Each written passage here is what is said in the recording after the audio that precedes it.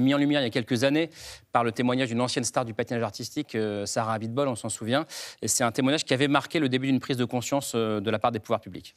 Oui, Karim, c'est dans la continuité de ce témoignage donc, euh, de Sarah Abitbol qu'une cellule de signalement a été mise en place en 2020 par le ministère des Sports. Ça s'appelle Signal Sport. selon la ministre Amélie Oudéa-Castera, cette cellule a enregistré au 31 décembre 2022 907 signalements. C'est à peu près un signalement par jour pour des faits relevant à 83% de violences sexuelles, dont 82% sur des victimes mineures. Depuis, bah, on aurait très largement dépassé le seuil des, des 1000 signalements. Maintenant, on a des chiffres, donc euh, ceux que tu viens de nous, rappeler, mais malgré ces chiffres euh, assez édifiants, le sujet a longtemps été mis sous le tapis euh, dans le monde du sport de haut niveau. mais aujourd'hui, de plus en plus de, victimes témoignent, portent plainte, contribuent à briser cette, cette omerta. Et c'est le cas d'une ancienne joueuse de tennis, Angélique Cauchy, qui t'a confié son histoire. Oui, Angélique Cauchy, elle a 36 ans. donc c'est une ancienne joueuse de tennis. Elle a été numéro 2 française chez les juniors. Et de ses 12 à ses 14 ans, son entraîneur, Andrew Guedes, l'a violée. Euh, des centaines de fois pendant deux ans. Elle a porté plainte, il a euh, reconnu les faits et il a été condamné en 2021 à 18 ans de, prison pour viol sur mineur.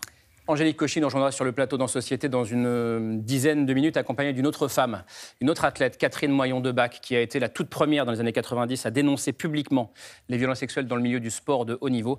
Mais on regarde donc, d'abord ce portrait d'Angélique Cauchy signé Beryl Chemeil avec Grégory Roudier.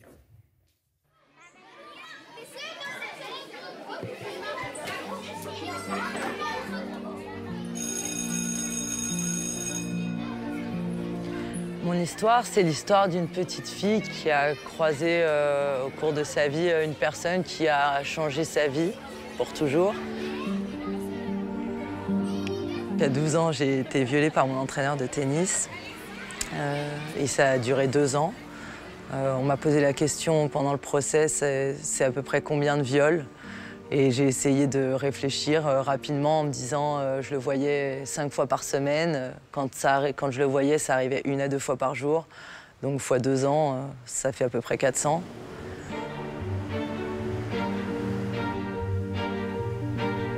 Je suis un petit peu morte à 12 ans, mais tous les matins, je, je lui dois la vie à cette petite de 12 ans.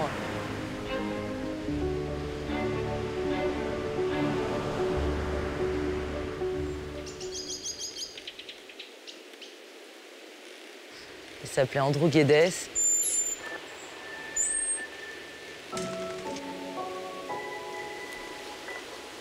Il a commencé à m'entraîner en septembre 99. Et donc, euh, il est arrivé, euh, pas très très grand, euh, une casquette chauve, qui parle fort, qui a des yeux perçants, qui fait un peu peur, mais qui en même temps veut faire le copain.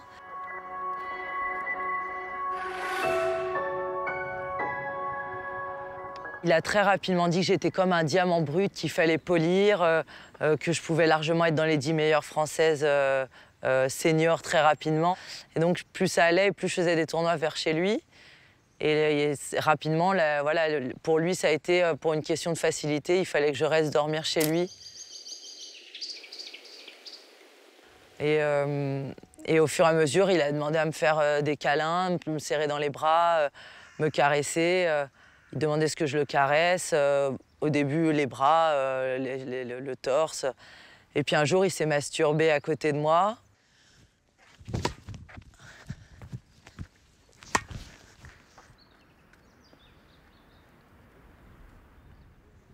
Mais à chaque fois, il allait un tout petit peu plus loin que la fois d'avant.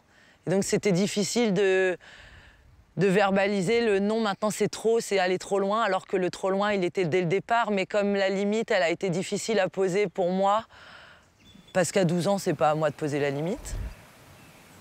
Mais parce que j'avais aussi peur, c'était l'entraîneur, c'était l'autorité, c'était l'adulte.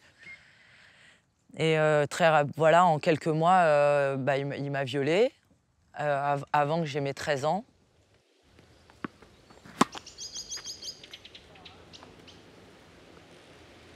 Donc euh, les autres fois, bah, quand il me disait tu viens dans 10 minutes, eh ben j'attendais 10 minutes et j'y allais.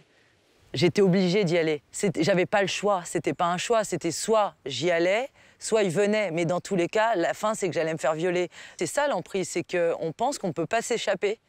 Alors que physiquement, euh, j'aurais pu m'enfuir. La porte n'était pas fermée à clé.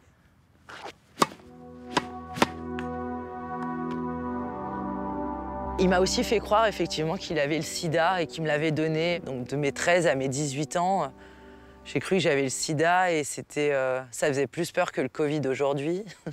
Dans les années 90-2000, des gens mouraient du sida euh, à, cette, époque-là.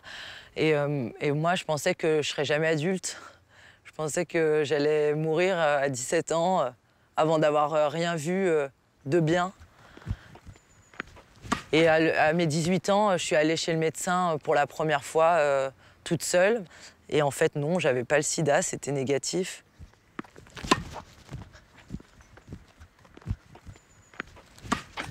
Non, je me pose pas la question de le dire à mes parents parce que mon père, euh, il était policier et euh, quand, quand on était petite avec ma sœur, il nous a dit à plusieurs reprises si un jour quelqu'un vous fait du mal, j'attendrai pas que justice soit faite, je lui mettrai une balle entre les deux yeux quitte à prendre 20 ans de tôle. C'est une phrase qui m'a tellement marquée que le, que le jour où c'est arrivé, j'ai eu tellement peur des répercussions sur ma famille.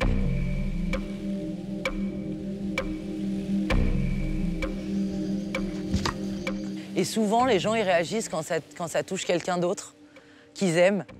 Et euh, comme si nous, on était déjà perdus.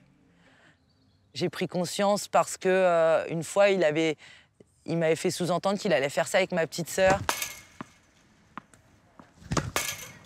Un jour, j'ai eu, euh, un nouveau téléphone pour mes 14 ans. Et, avec ce téléphone, je me suis juré de jamais répondre au sien.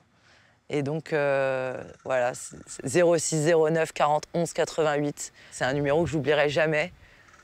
Et euh, parfois, je donne son numéro à la place du mien.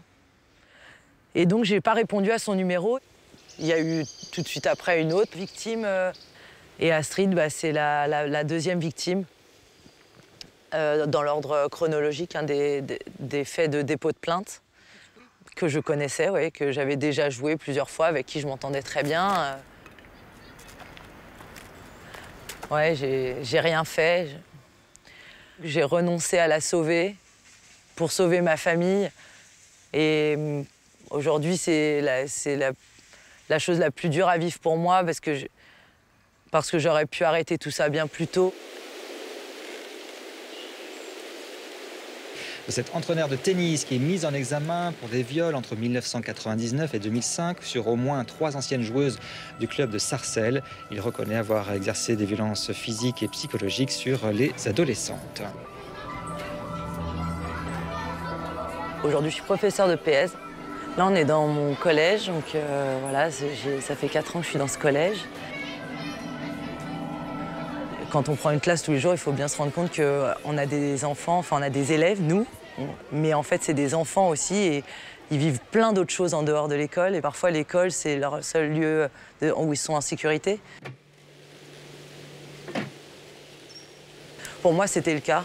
L'école, euh, quelque part, elle m'a tenue hors de l'eau. Et euh, voilà, j'essaye euh, toujours d'être la personne que j'aurais aimé rencontrer quand j'étais jeune.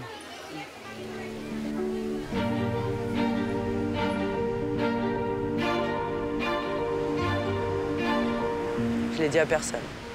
Avant, euh, la première personne à qui je l'ai dit, c'est à 18 ans, à ma première petite copine. Bon, on a de la chance pour le temps. Perrine, c'est ma femme et c'est la mère de mon fils. Et euh, on s'est rencontrés en 2017, à un moment où j'allais pas très bien et elle m'a euh, redonné goût à la vie. Et donc, euh, elle m'a sauvée. C'est le. Moi, je, moi, je suis pas tout à fait d'accord. Elle s'est sauvée. Moi, je trouve qu'elle a eu la force. Moi, j'étais vraiment. Euh... J'ai accompagné. C'est plus que de la fierté. C'est une admiration euh, sans limite. C'est voilà. C'est un modèle. Et, j'espère que ça sera un modèle pour, pour plein de jeunes. Et je sais que ça l'est déjà.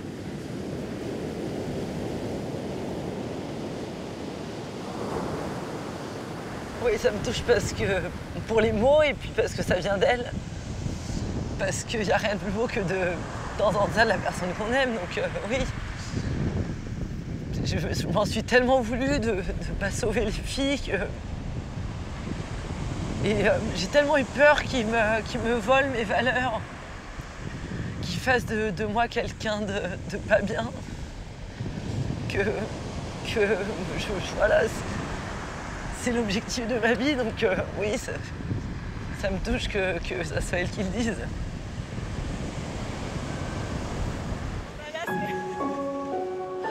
Ah non C'est la première fois que ça m'arrive Par rapport à ce que j'ai vécu, euh, aujourd'hui en tout cas, je me considère comme étant vraiment très heureuse. C'est mon climax, pour, pour l'instant. C'est ça, pour l'instant. Words disappear. Words once so clear. Only echoes passing through the night. Bonsoir Angélique Cauchy. Bonsoir.